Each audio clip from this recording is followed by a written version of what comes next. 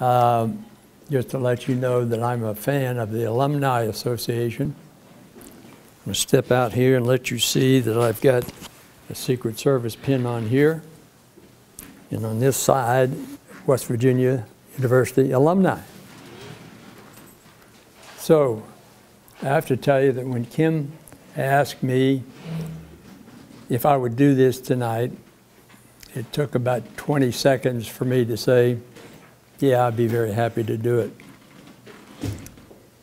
Not, not because I'm a member of a uh, Toastmasters club and I have to get in my hours of speaking, but because West Virginia has always been very special to me. I wish I could remember how many times I've said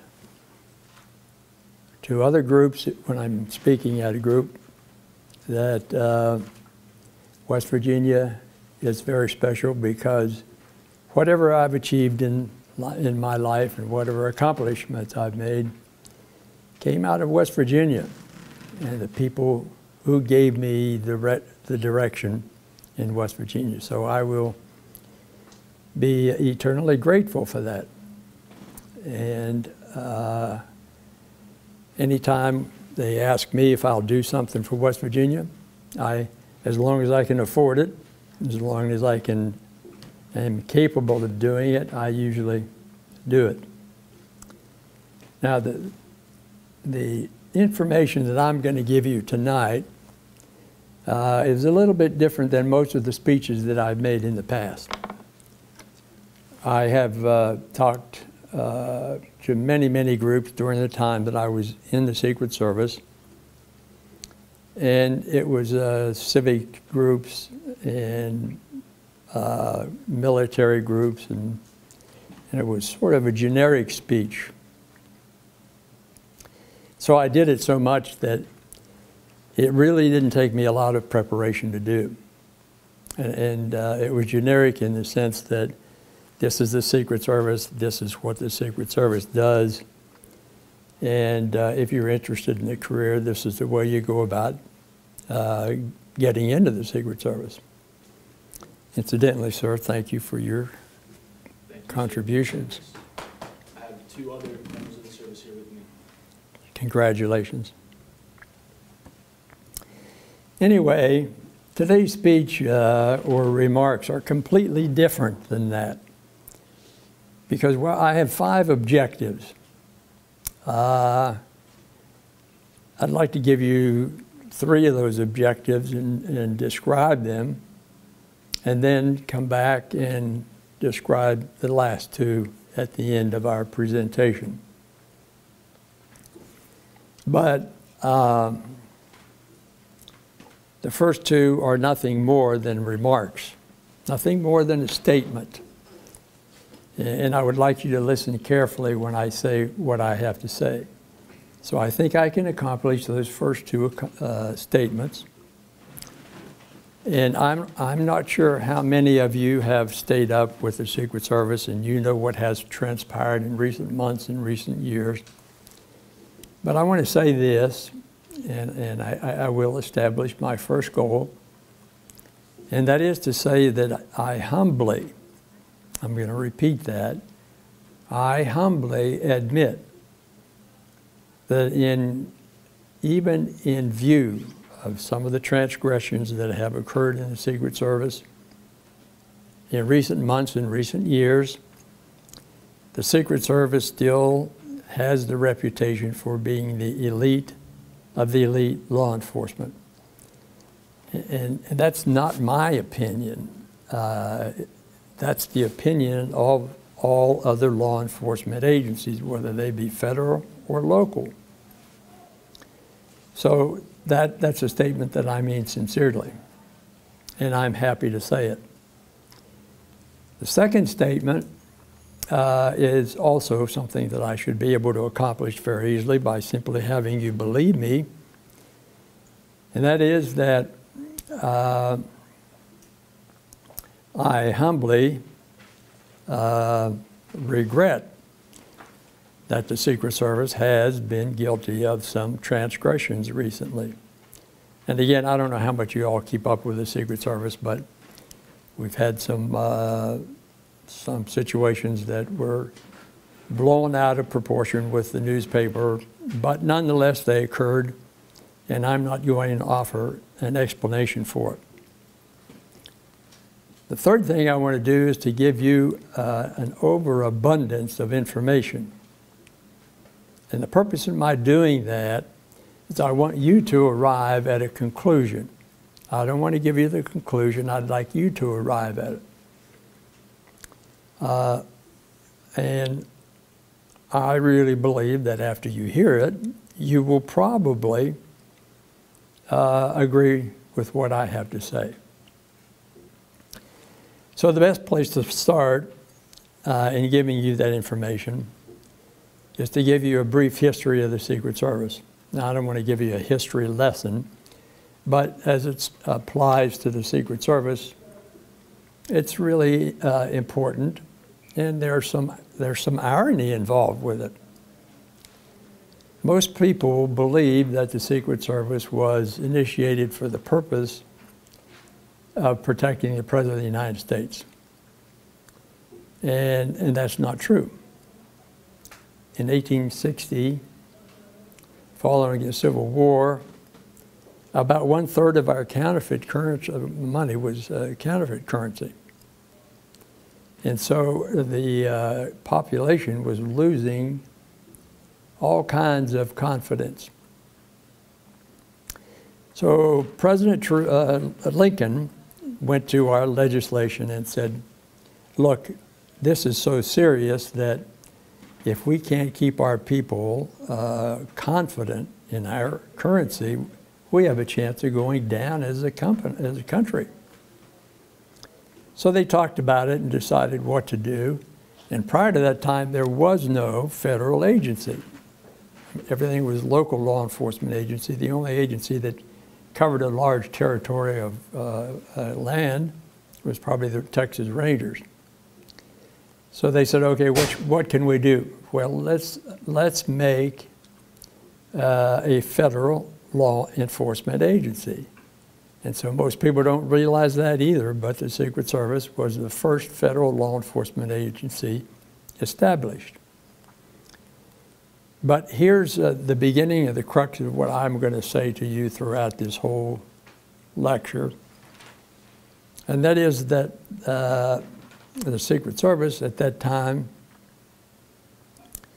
was given the responsibility and the sole responsibility to suppress counterfeit currency. Nothing else. They said, this is your job, do that. And they gave them uh, probably far fewer agents than they should have had. But they did, in fact, give them a lot of good training. So in a very short period of time, the counterfeit currency was, in fact, uh, put under control. And, uh, and everybody was pleased. The legislators, the president was pleased. I mean, we still had some counterfeit currency, but not as much as it was because the majority of it before was uh, Confederacy money. So following that situation, uh, they said, now that we've got a federal law enforcement agency, we're going to uh, use them for all federal crimes. So uh, why don't we use them to do things like uh, uh, land fraud, uh, counter espionage, uh, uh, bank fraud? Uh, why don't we use them to assist local law enforcement for bank robberies? And so the Secret Service then caught all that, all those responsibilities. Uh, and so now I want to start this and show you, uh, just to make sure you understand that there's a comparison between all the other federal agencies that started and what their charter was in the very beginning and how it compares to the charter of the Secret Service and the, how the charter of the Secret Service grew. And, and I want to say this also up front that anytime there is a change in the charter of an agency, there has to be a change in manpower, in training, and budget. And I'm sure some people know about what I'm talking about. and many times that did not occur. So the Secret Service was doing all of that. But I want to put up, uh, let's see if I can get this. This is just a perfect example. Uh, the FBI, as you know, most of its responsibilities are to protect against, uh, right here at the bottom, this is right now, is what they're most protecting against terrorism attacks and cyber-based attacks. But before that, they did all the things here, protecting against espionage, civil rights, and all that business. Guess who was doing it before that time? Secret Service. So as soon as they came into being, that relieved the Secret Service of some of their responsibilities, but not all of them. The next agency is uh, the CIA. Uh, I want to go back to that last slide. If you review that and say, what has uh, changed in this agency? Since the time they started, what has changed in their charter? And the answer is nothing. If there's anything that happened is these last two have gained a lot of uh, emphasis, but nothing else has changed.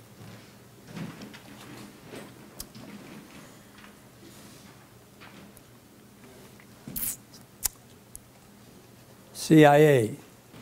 Responsibility CIA is to gather intelligence, feed it to the president, feed it to the National Security Agency, and also practice counter, uh, counter uh, espionage. And if you look at their changes in their uh, charter, nothing has changed. Except maybe they've done a little bit more in this area where they engage in counterintelligence, and it's been effective.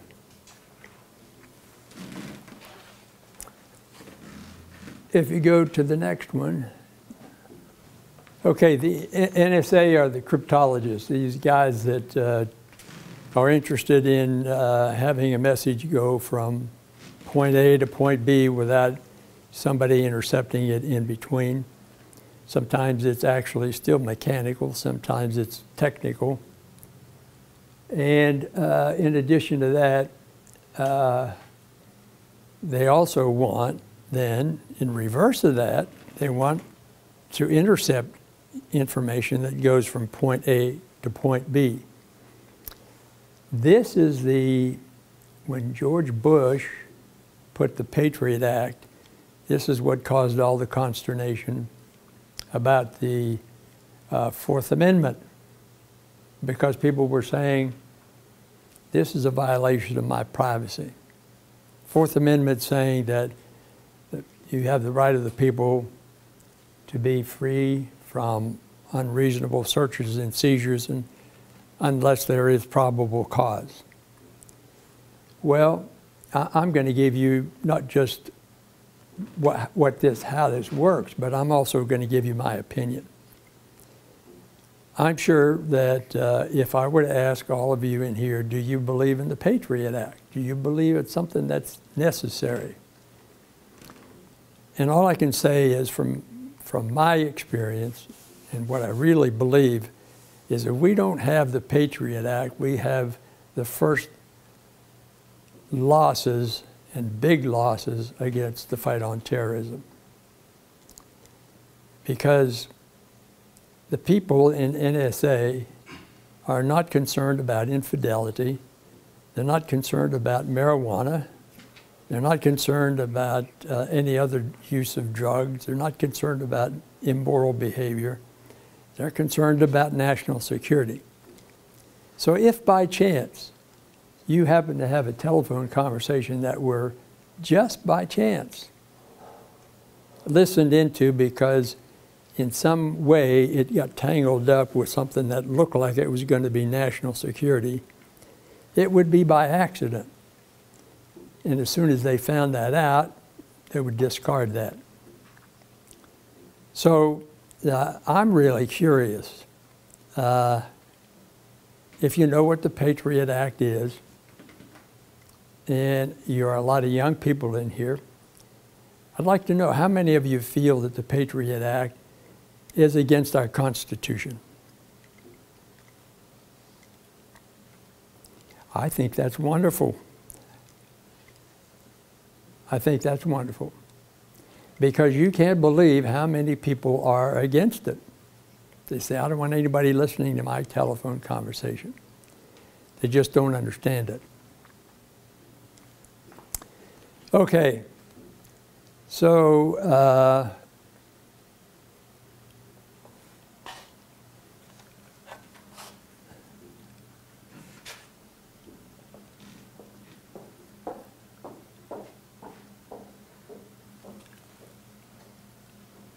now, in contrast to all of that, I want to show you the evolution of the mission of the Secret Service.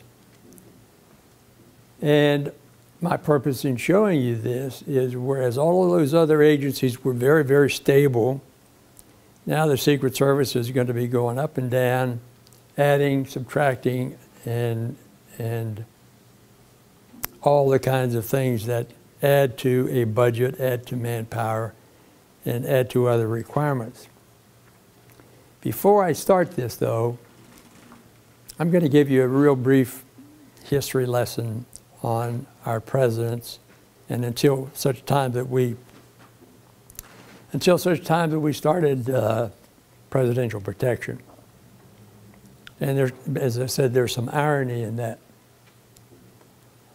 Uh, when we started to do the counterfeit investigations, we also added other responsibilities in there.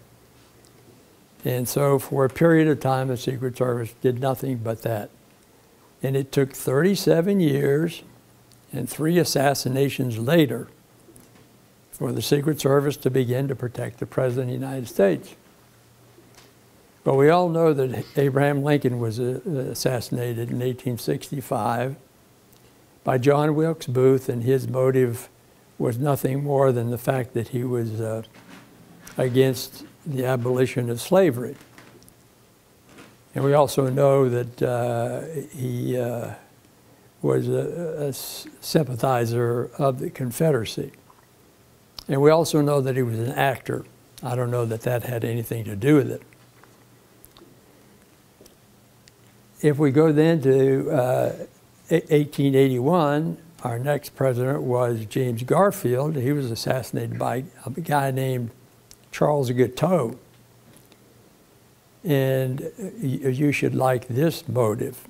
Charles Guiteau had written a speech, and the speech that he delivered was profound, had nothing to do with James Garfield, had nothing to do with the election that was in process.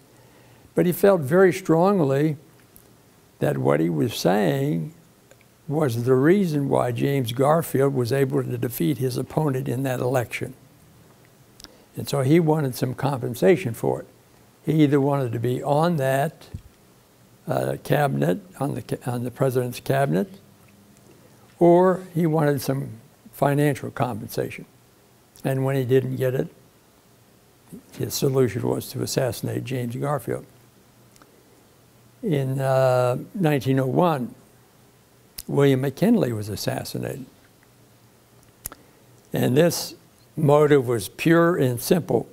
This man, his name was uh, uh, it's a strange name. It was uh, uh, Leon Czolgosz. And his, his reason for assassinating uh, William McKinley was simply that uh, he thought he was an anarchist. He was an anarchist and he wanted to get away with all government. And he thought William McKinley was the man that was really forcing government. So, as I said, 37 years later, and three presidents later, they decided, the same legislators, the same people who were, uh, who were interested in uh, protecting presidents and interested in uh, these other investigations and the counterfeit currency, said, you know, we have to do something about this. So the first president was, that was protected by the Secret Service was Teddy Roosevelt right after William McKinley was assassinated.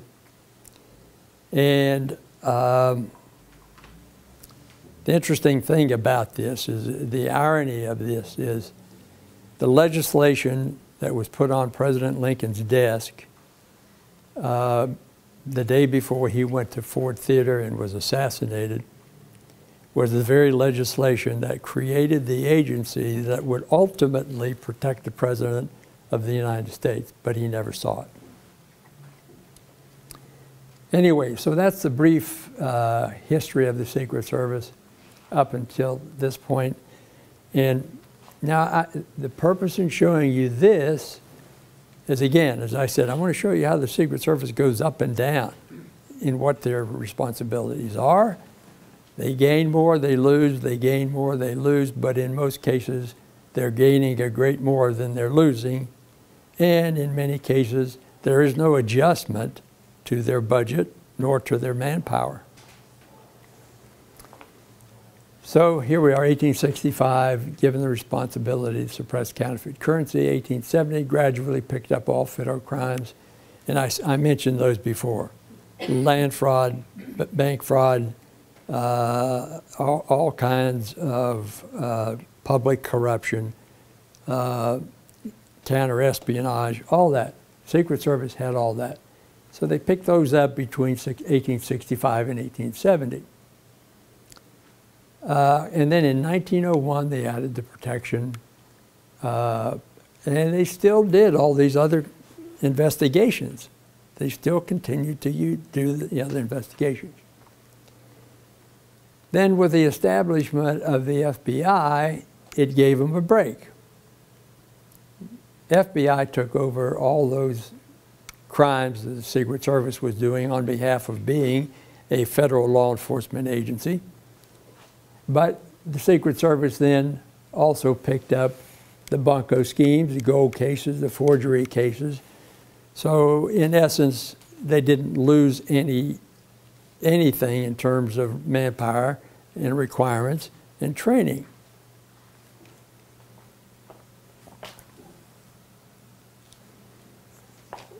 The next period of time.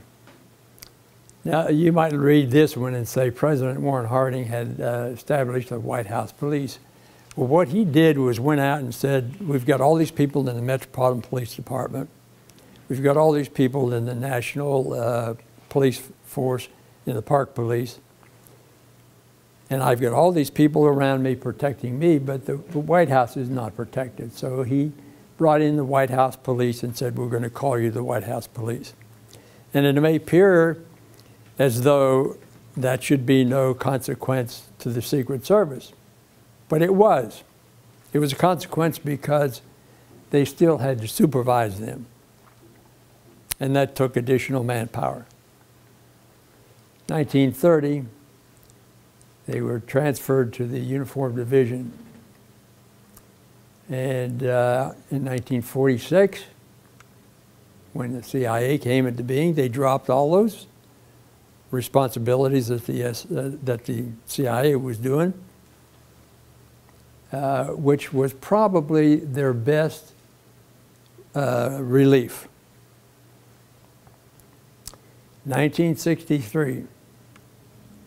Now, I can tell you I was personally involved in this one because uh,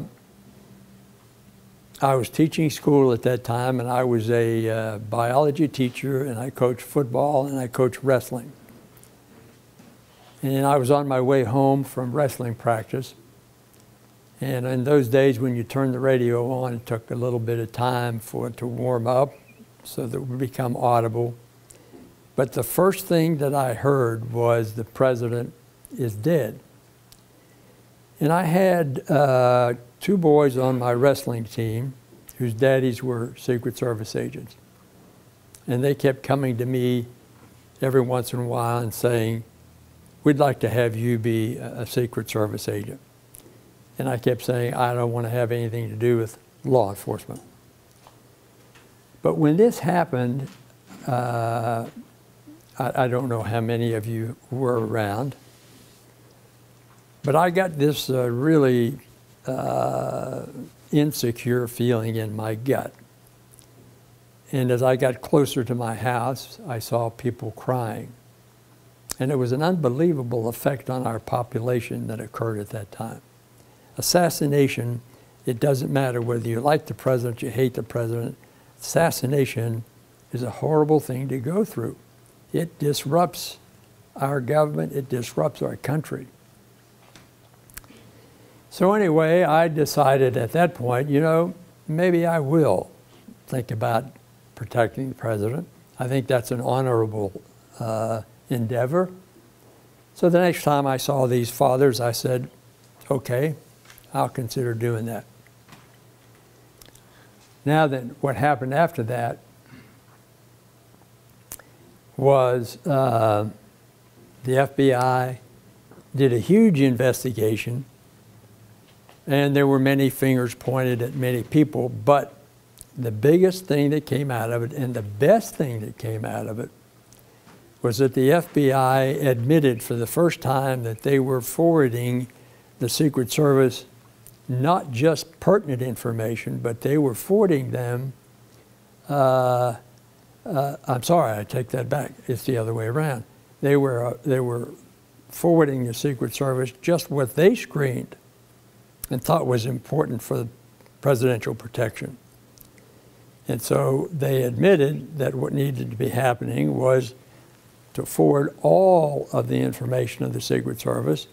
Secret Service has their own experts they know what's important, and that was a big step in improving security. Second thing that happened, the Warren Commission wrote 18 volumes. Every agent that was on duty at that time had to read all 18 of those volumes. But the best thing that came out of that was that the Secret Service then was required to hire 200 new agents. And it wasn't a matter of, do you want to? Warren Commission says you will hire 200 new agents. And I was one of those 200 new agents.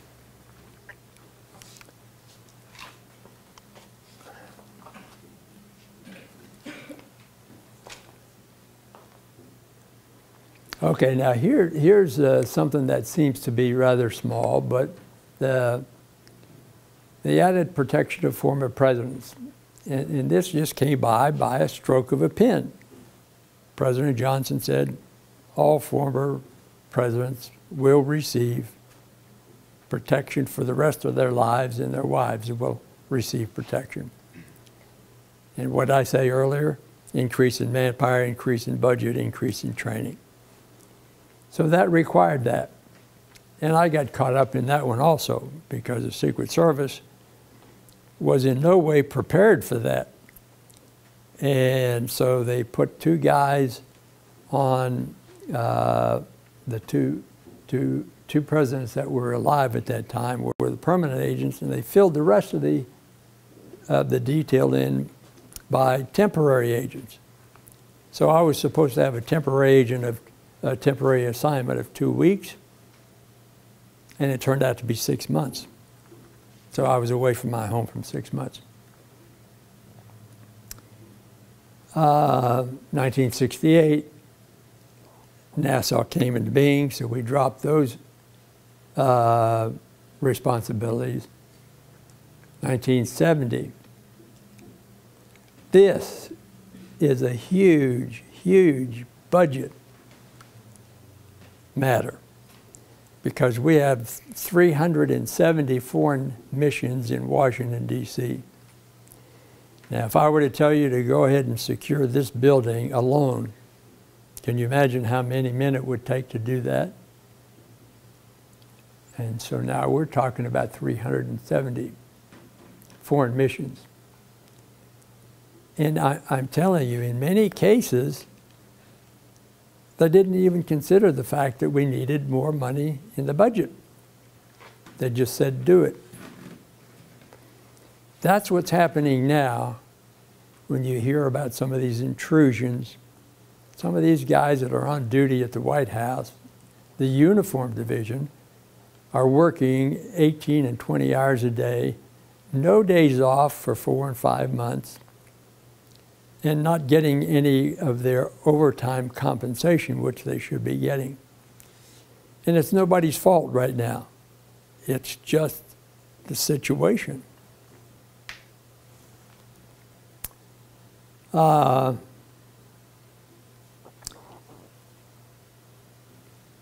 now, this also is, is, is one that is, uh, is rather uh, uh, difficult for the Secret Service because we've also picked up securing all of the major events.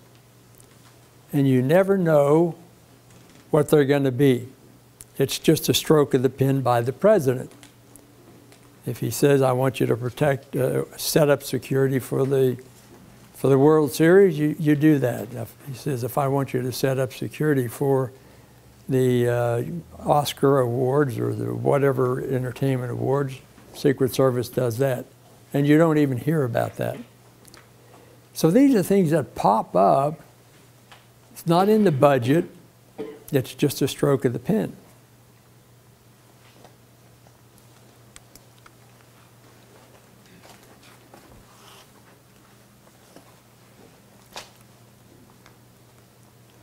Uh, this just says that we have some other foreign missions in other countries that we protect.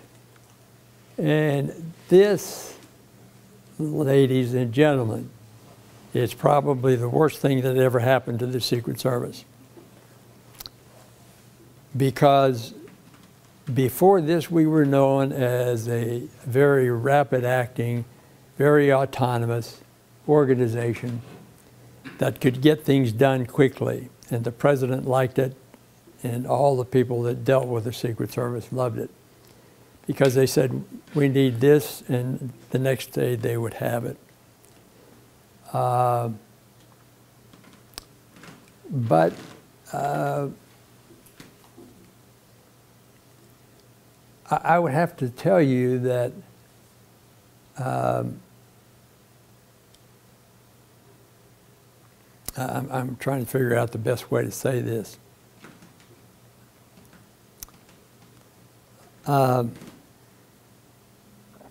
there's just no way that anybody can budget for a situation like this. Uh, because what happened was they took the Secret Service with that reputation that I described to you, they dumped it into this big organization called Homeland Security. They took their budget and threw it into the pile. And uh, instead of being their oversight from the Secretary of Treasury, their oversight now was the Department of Homeland Security.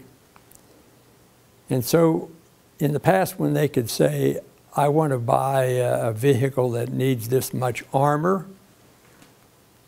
And they would talk to the secretary, the deputy undersecretary of treasury. He'd say, yeah, go ahead and do it. Now, if they wanted to buy something like that and, and truly uh, uh, showed a need for it, it goes through all these levels of bureaucracy in the Homeland Security. And what took two weeks before now takes two and three months and four months. And that applies to everything that is in their function. It applies to hiring people, firing people. It applies to making changes in administration. It applies to uh, purchasing. It applies to every possible, every possible operation that you can imagine. And, um, but the biggest problem, impact was that if I were to say to you all, uh, I want to take all the money that you've got in your pocket and put it in this pot, and depending upon what we think you need in the future, I'll redistribute it. Well, the Secret Service got less money after they put it in the pot back. They got less money back than they put in. And their mission rise, creep, kept, kept going higher and higher and higher. So, in my opinion, uh, that's the worst thing that could have happened to the Secret Service.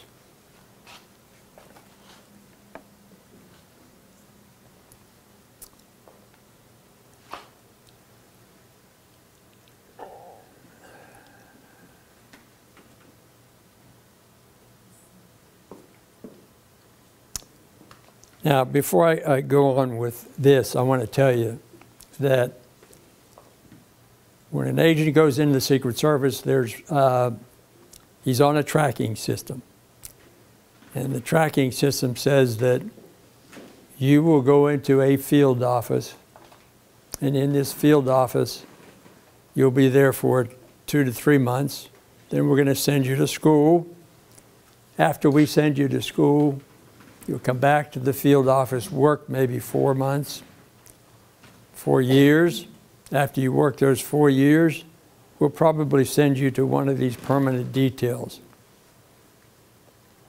Uh, and when they're in a field office, they're working counterfeit cases, forgery, forgery cases. They're working electronic transfer of funds, cyber cases, and all those sorts of things. But the big difference is that uh, unless they're involved in the surveillance, they're going to be home at nighttime. And so after they've worked four years there, according to this tracking system, then they go into one of the permanent protection details. Could be the president or the vice president or foreign dignitaries, all of which are very demanding. And that means that when the president goes, you go. When the vice president goes, you go. So it's not a situation where you're home at night times. So this accomplishes two things. They continue to do the investigations that are required for the U.S., but it also gives these guys a break and it gives them a normal life for a period of time, unless, unless they uh, are faced with a, a, a, bizarre campaign like we were faced with just recently. I used to brag about being in 82 country, 82 cities with the uh, President Reagan in one month. I can't imagine how many cities these guys were in with Donald Trump. Just cannot imagine it. So I'm, I'm saying this now from, from my opinion I think they did a great job during this campaign. So anyway, let me go on with, with the tracking system. So the tracking system was designed to be able to give an agent an opportunity to be home for a period of time and doing something that was worthwhile and then being on the details where it's grueling, you're away from your home, you're working long hours, your time is not your own. You never can complain. You never can uh, schedule anything. And that's the way the majority of the agents uh, had their career uh, follow through. But I'm putting my career up here because for some reason, and I can't explain why, my career was vastly different than everybody else's. My career was 80% protection. Now I'm going to stop at that point and, say to you that there's a man named Congressman Chaffetz who is the uh, who is the uh, head of the Congressional uh, Committee on Government Oversight. And when the Secret Service had some of these shortcomings, he was one of the guys that did most of the investigation. Uh, so, uh, when when those things happened, he looked very closely into those uh, matters. And as time wore on, he began to realize what some of the problems were, and they were not the problems of the Secret Service.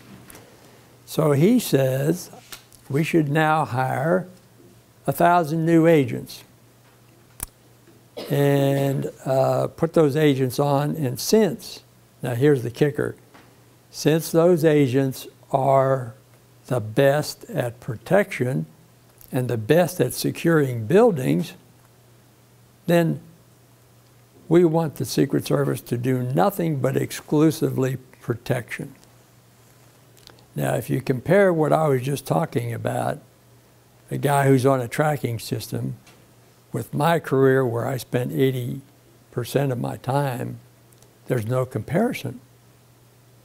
This 80% of the time is grueling. It's uh, hard on the family. You're gone away most of the time, and you never know when you're going to get a break.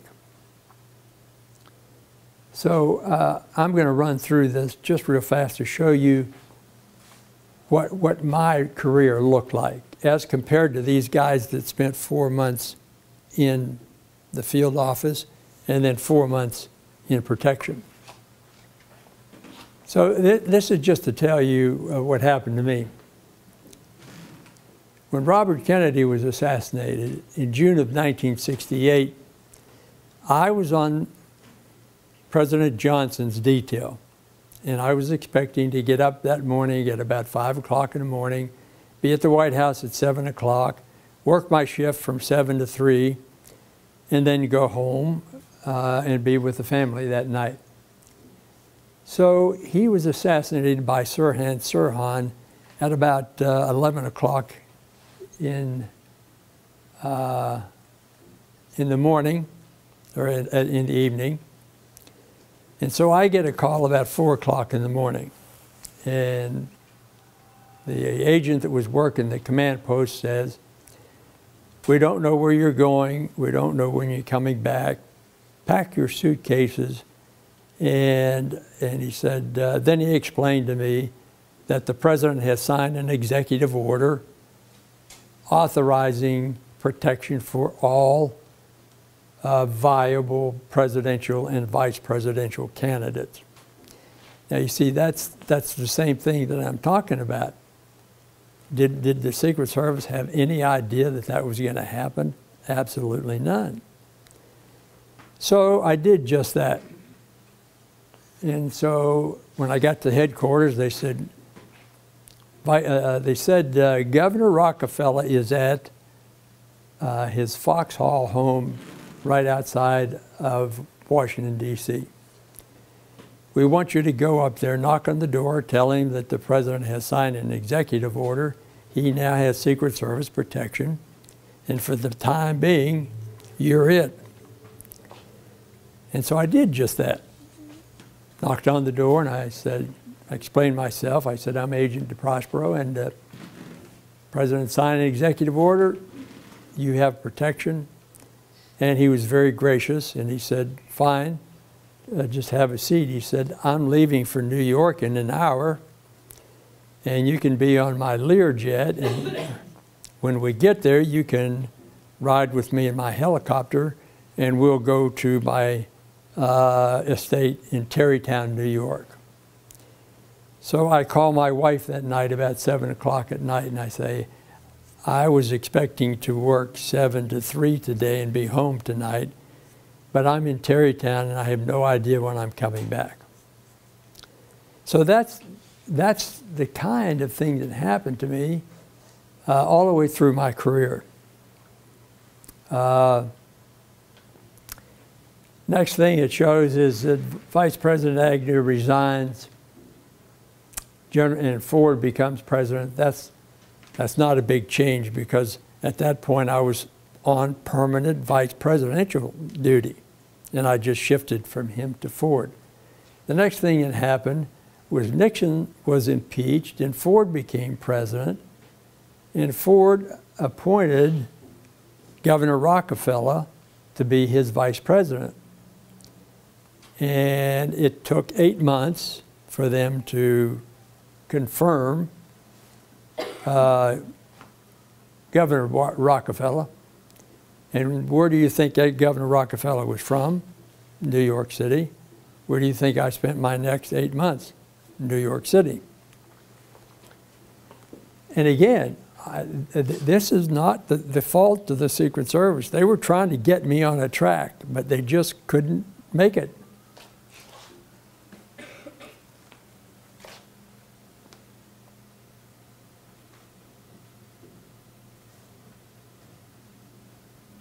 Okay, so this is just a national course of events.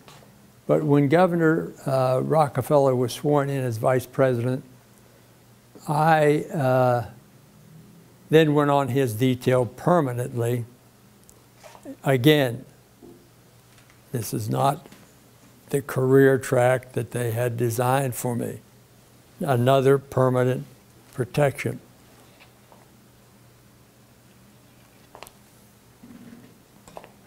Okay, we'll put this one aside for a while. Uh,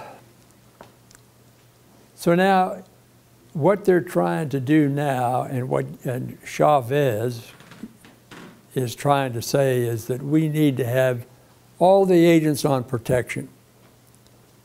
Now, if you compare my career track with the career track of some of these other fellows who spend a lot of time in the Secret Service, but also had some time with their family, which do you think you would choose? Certainly not mine. Now, I don't, I don't mean to imply that I did not have a good career, because I did have a good career. And uh, it's because I look back on it as having been a part of history. Um, and if I, if I were to tell you some of the things that I did, I'm sure you would find it interesting. I, I gained the, the uh, trust and confidence of a man who is now slowly becoming known as one of the best presidents of, of the United States. I rode in like 450 official motorcades with the president in the back seat, usually some head of state or some governor. And the guy that's in that right front seat of the motorcade is the one that runs that whole movement. He's in touch with the people in intelligence. He's in touch with the counter snipers, the counter assault teams, the explosive ordnance teams, the command post. And at the same time, he's dealing with the president and whomever's in the car with the president. Could be a foreign dig, as I said, or could be Mrs. Reagan. Uh, in addition to that, I, at one time, I mean, I don't know if this is a big distinction or not, it may be. I had the largest number of hours on Air Force One, even over the crew, because they had to take off because of safety. But anytime the president was on the airplane, I was on the airplane with him. I'd been to more countries than I can tell you right now. I could not remember how many countries I'd been in. And one of the biggest things is I can remember being in um, a room with just three people in that room the two presidents and myself, and they're negotiating, they were negotiating some really, really high level stuff. And I was the only other person in that room. And of course, and of course, I met a lot, a lot of interesting people. I'm not talking about entertainers, I'm talking about very interesting people, including the Pope. And again, I'll test you guys out now. I also met a man named Hirohito. I don't know if you would call that a, an honor. I don't know what you'd call it, but it was certainly interesting. Does anybody know who Hirohito is? Yes, sir. Hirohito was the emperor of Japan when the, Japanese bombed Pearl Harbor. So I met him just before he passed away. So I, I, I considered my part again to be part of, of, of history. And uh, I couldn't trade that for anything. And, and when you ask my family, did they suffer? Did they make sacrifices? They'll all tell you absolutely. But if you ask them, would you have your dad do something different than he did? They'd say, no, that's what he wanted to do, and that's what we wanted him to do. So I'm telling, uh, uh, my purpose in telling you all of this is the Secret Service now is in a position where uh, they, they have uh, crossroads. I'm not sure which way they're going to go. Uh, if they go in the direction of making them nothing but protection experts and also securing public buildings and any big events, then uh, they'll have some problems. But I feel strongly that th- they're working on it so diligently right now with Congressman Chaffetz and other people like him that they'll work that out. If they choose to try to go back to the tracking system, I think they'll work that out. Um, in either event, there are all kinds of opportunities. Now, I don't know if I'm talking to the right crowd to say this, but if you're willing right now to take a chance on which way they go, if you are willing to work long hours, 18 hours a day, for long periods of time, be away from your family, then uh, this is the time to go into the Secret Service, as long as you can be properly vetted and meet all the circumstances and all the requirements. This is the time to do it because I can, I can guarantee you that the people who are really interested, who want to work, who are qualified, they're going to go up quickly in the Secret Service. And the Secret Service ranking system goes from a grade 5 GS5 to a senior executive service 3, which is uh, a very nice situation. Uh, and if you if you choose to do that, the, the only thing I have to say is that the, the president's responsibility, the Secret Service's responsibility, is so great. I don't know of any other agency that has a mission as important as the Secret Service. Nothing is more important than protecting the president. Again, I say, you, you can't imagine what kind of an impact it has on a country when you lose a president. And it doesn't matter who the president is, it disrupts everything. So if you're willing to take that chance, uh, I, I'm saying now that with that mission in mind, the Secret Service cannot afford to uh, cut corners. They can't afford to consider political, whatever political correctness is. They can't afford quotas. They can't afford to uh, to try to reach diversity goals. None of that matters. I'm telling you that none of that matters. What matters is who is the best qualified person. They need to hire the best qualified person regardless of race, religion, sex, sexual orientation. I don't care what it is. They need to hire the best people. And then those people need to be elevated, and then those people need to be placed in a position where whichever direction the Secret Service goes in now, they will be the ones to be able to lead it.